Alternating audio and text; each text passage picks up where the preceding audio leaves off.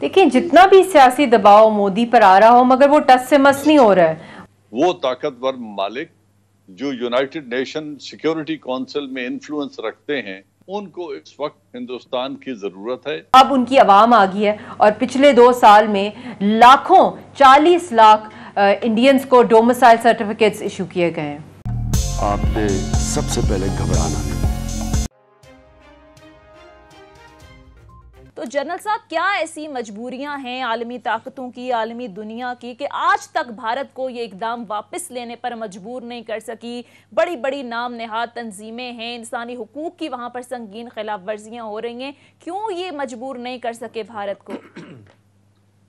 जी, मेरे ख्याल में उसकी बड़ी दो टोक जवाब तो ये है कि उन्हें अभी इस वक्त हिंदुस्तान की ज़रूरत है।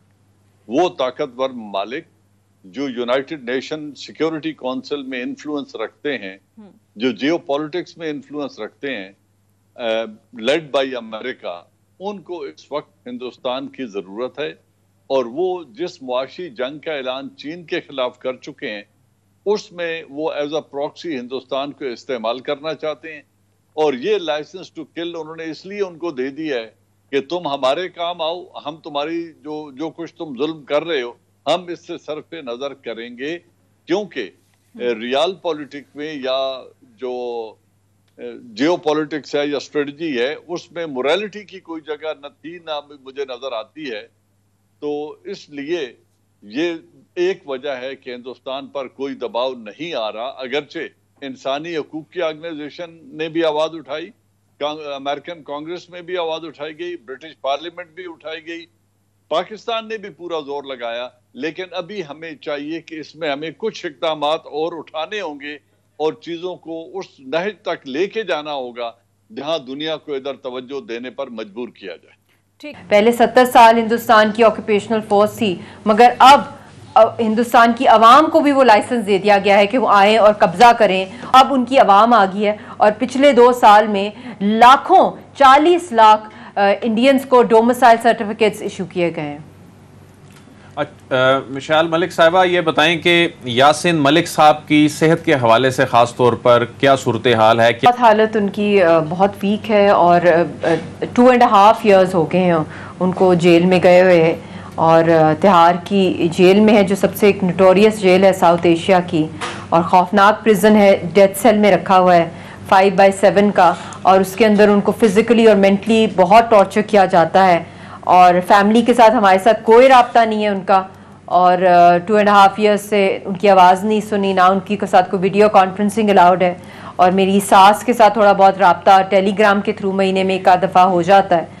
और वो भी यही बताती हैं कि वो उनकी हालत जो है, सेहत जो है, वो काफ़ी डाउन है और उनको टेररिज्म के केसेस उनके ऊपर डाले हुए एक एक पॉलिटिकल लीडर के ऊपर, जो जो चेहरा है अपनी पुरमन तहरीक का, कश्मीरियों के हक खुदरादियत का।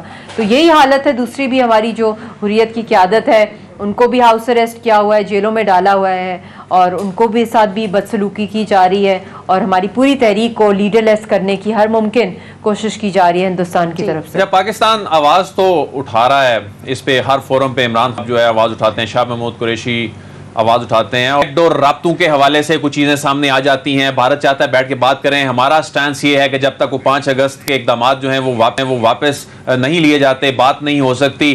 मजीद अब ये मामला कहाँ जाता दिखाई दे रहा है? क्या अगले साल भी खुदा न हास्ता हम इसी तरह सिर्फ़ बात कर रहे होंगे?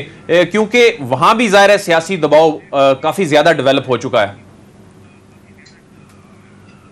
देखिए, जितना भी सियासी दबाव मोदी पर आ रहा हो, मगर वो टस से मस नहीं हो रहा है। वो वहाँ पे कोई पॉलिसीज़ में चेंज नहीं आ रहा बल्कि और मजीद तेज़ी आ रही है। वो बल्कि ये समझते हैं कि सबसे ज़्यादा इंडियन पब्लिक को अगर डिस्ट्रैक्ट करना है हम्म। तो मज़हब की बेसिस पे उनको इमोशनल किया जाए मज़हब की बेसिस पे पॉलिटिक्स की जाए और कश्मीर का मसला जो है उसको और मजीद पेचीदा कर दिया जाए और पाकिस्तान पे सारा दहशत गर्दी का और कश्मीरियों पे ब्लेम डाल दिया जाए।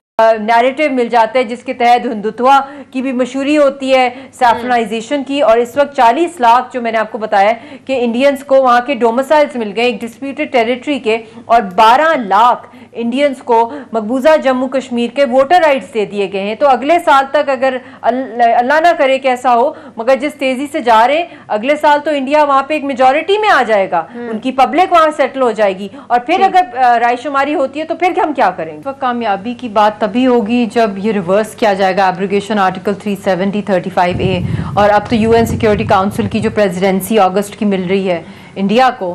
तो ये भी बहुत ही एक खौफनाक किस्म की बात है कि जिसने, जिस मुल्क ने ओपनली वायलेट किया international law humanitarian law UN की करारदादों को, उसको प्रेसिडेंसी किस बेसिस पे मिल रही है? और जो एक नॉन परमानेंट रोटेटिंग मेंबर है सिक्योरिटी काउंसिल का तो ये बहुत ही दुनिया के डबल स्टैंडर्ड्स भी नज़र आ रहे हैं। और उसके साथ साथ मैं समझती हूँ कि पाकिस्तान के लिए भी इस वक्त बहुत अशद ज़रूरत है।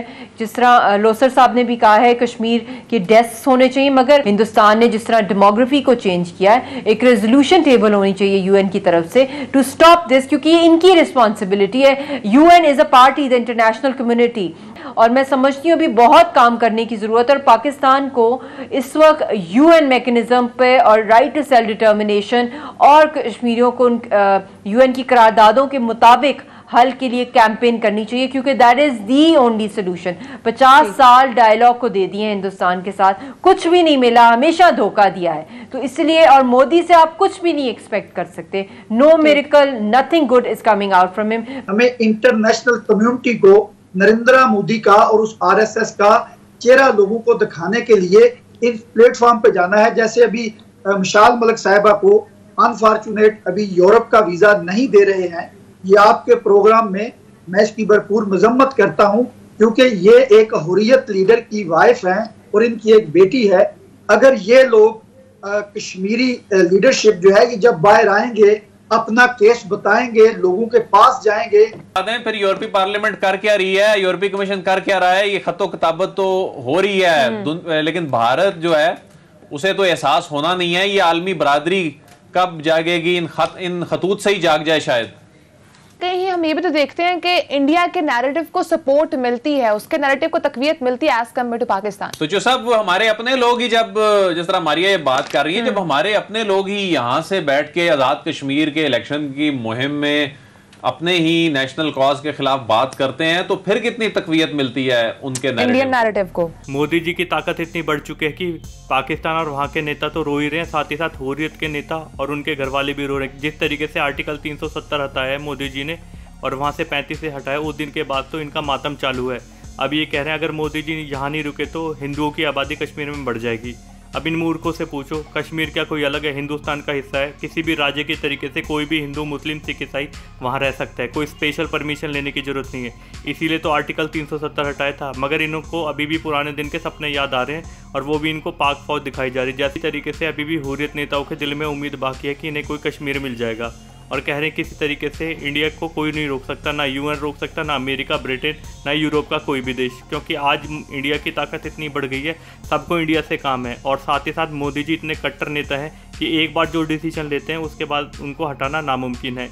इस चीज़ को देखने के बाद इन सब की हिम्मतें टूटती चली जा रही हैं और इनको टी वी पे आके रोने के अलावा और कोई काम नहीं है। जय हिंद दोस्तों, धन्यवाद।